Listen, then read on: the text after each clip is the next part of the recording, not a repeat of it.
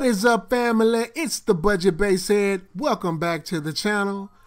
Right now, what you guys see on the screen are three different drivers. All these drivers are by Tang Tangband, and they were sent over to me by Parts Express to assist with a three-way build.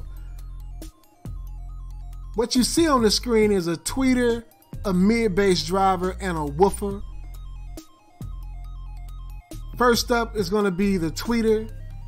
This little guy is actually uh, from Tangband's W2 lineup. This is the W2 803SM. It is a 2 inch extended range speaker. Have a power handling of 8 watts with a max of 16 watts. This is a 4 ohm driver. It have a frequency response, believe it or not, of 160 to 20,000 hertz. This will be my solution for my highs, and I'm really excited about this little guy. If you look in the center cap of that, you will see that it does come with a solid aluminum phase plug. It has a shielded neodymium motor, and it actually got venting under the spider. This little guy actually got a X max of one millimeter, believe it or not. This little bitty guy right here. Sensitivity is 85 dB. With the BL of 2.69. If you guys want to learn a little bit more about that, just hop on over to Parts Express. Do a search for the W2803SM and you guys can check that little guy out. But for right now, what I would like to do is move onward to my mid-bass solution. My, my mid-bass solution is also going to be by Tangband. This is the W82096. It is an 8-inch driver. This guy actually features a 1-inch top plate in a very beefy magnet coming in at over 15 pounds. This thing is a monster. It has a frequency response, get this, of 35 to 6,000 hertz. So I gotta kind of ask myself, is this more of a subwoofer than it is a mid-bass driver? But with capabilities of up to 6,000 hertz, definitely in the mid-bass range. It's a 4 ohm speaker. Like mentioned before, it's 8 ohms. There's a shot at the lead. Little bit of the badging right there. It has a 2 inch voice coil. Frequency response of 35 hertz.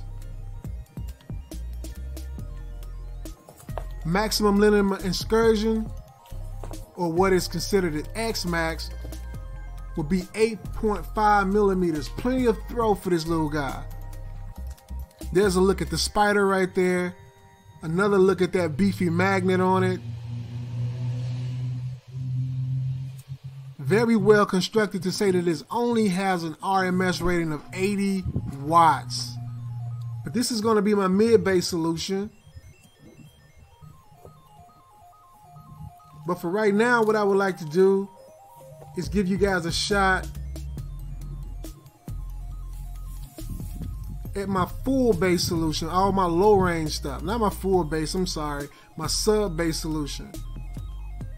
Which is actually going to be this guy right here. This is also by Tangband, and this is also part of that W8 lineup. This is the W8 1363SB. It's also an 8 inch subwoofer but it has an RMS rating double that of uh, the previous woofer in the uh, in the video. The mid-bass solution has a RMS rating of 80 watts. This one here has a RMS rating of 150 watts. There's a shot at the neodymium magnet. A little bit of the badging there. If you notice, look at the leads on this. The terminal is only a single terminal on each side. When I first seen this, I thought I had a defective product or maybe a, uh, a display model. But come to find out, from my experience, sometimes companies will do this when they take a previously dual voice coil subwoofer and actually they would internally wire it in series and give you a lead on e- on either side of the basket. They would only use one lead. Either that or sometimes companies would actually utilize the same basket for multiple drivers. This guy right here has a frequency response of 30 hertz, DC resistance of 3.2 ohms. Of course, it is a 4 ohm driver. Single, single voice coil, as you guys just seen. It has an X max of 12 millimeters and a, a QTS rating of 0.29. Very friendly to ported enclosures.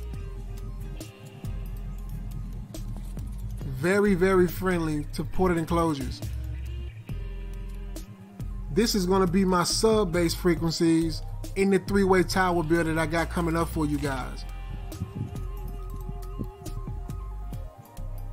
If you guys are running about the sensitivity, it is a sensitivity of 84 dBs. You're going to need a little bit of power to push this guy, especially with a, uh, a CMS of 0.28 millimeters per Newton.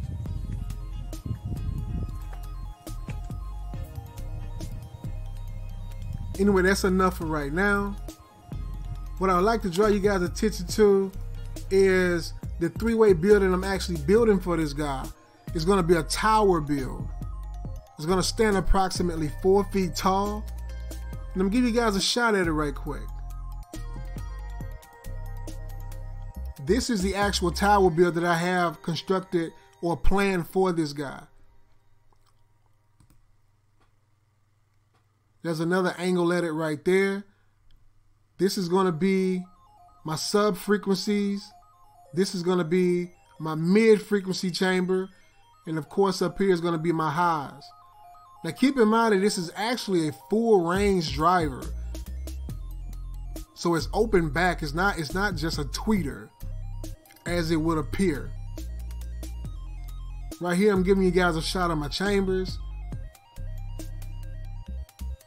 The mid-bass solution is going to be a sealed chamber.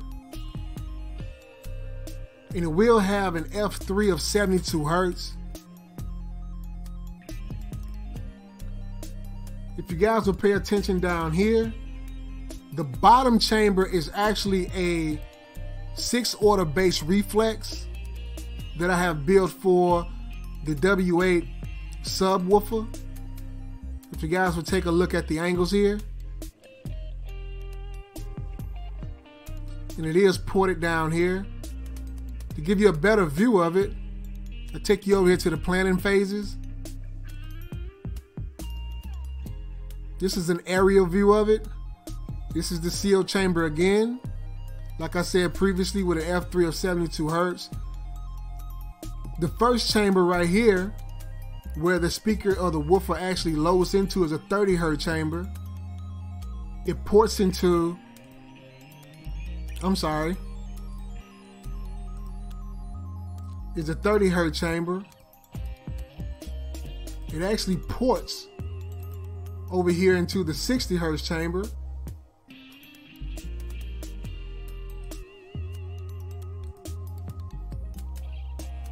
And X is here. I will later on in a later video give you guys a graph of this to let you see the frequency response of it in a digital uh, setup. But for right now, I want to actually go in here and show you guys a little tweeter housing over here. Very small, doesn't need a whole lot, but it's going to be sealed as well. I wanted to make this as tight as, as possible, and it has an F3 of uh, 260 hertz. And keep in mind, this thing actually have an FS, the tweeter does, has an FS of 160 hertz. So keep in mind that that is not a just a tweet. I keep calling it a tweeter, but it's actually a, a full range driver. Okay. But enough for that. I just kind of like wanted to share that with you guys to kind of let you know that I have been working on some projects. This is not the only project that I've been working on. I just wanted to bring you guys up to speed with at least one of the projects to kind of let you know I ain't forgot about you. I ain't sleeping on you. I ain't being lazy. I'm just busy and haven't had time to really just sit down at the computer and make a video. So I prioritized you guys this evening, and I said, well, let me let me send it, this out to them to let them see exactly what it is that I've been doing. As a matter of speaking, I have some really, really, really good stuff. I, I can't give it away. If I give it away, I'm afraid the ideal is going to get out there and somebody else is going to steal it. So I think I'm going to be the first to do what it is that I'm trying to, that I have in mind on YouTube. I may not be the first. I don't know. I haven't seen any videos of what I, what I got in store for you guys on a future project, other than other than this project right here. So just keep that in mind that I have been busy, and I have been trying to give you guys some some extra content. So just bear with me,